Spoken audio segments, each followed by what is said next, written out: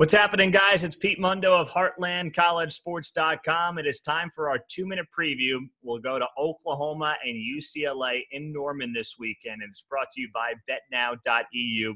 Use the promo code Heartland for a 100% sign up bonus when you deposit.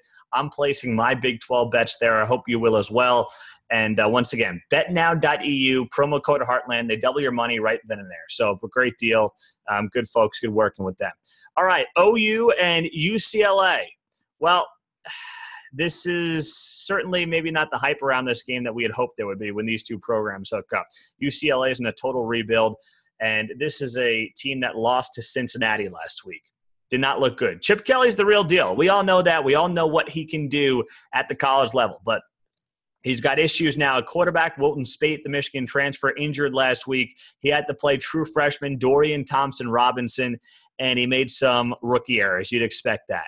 Uh, so the offense is still not totally to Chip Kelly's liking. Guys are still learning the system, and that's to be expected. So the offense is not up to snuff.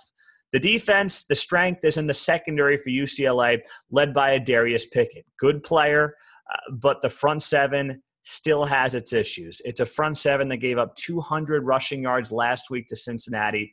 And not only that, but last season, UCLA allowed on average 287 rushing yards per game. That's pathetic. Guess what? OU, people don't realize they run the ball 55 to 60% of the time. It's going to be more this year. The running game is that good with Rodney Anderson and Trey Sermon and Kyler Murray at quarterback and uh, Marcelias Sutton. It is such a good group of backs and, and the quarterback. They're going to run all over UCLA. They're going to run them right out of the building. It's not going to be close. O- OU's greatest strength matches up beautifully with UCLA's biggest weakness. Give me OU 52, UCLA 21. It's not going to be close. OU rolls. Appreciate it, guys.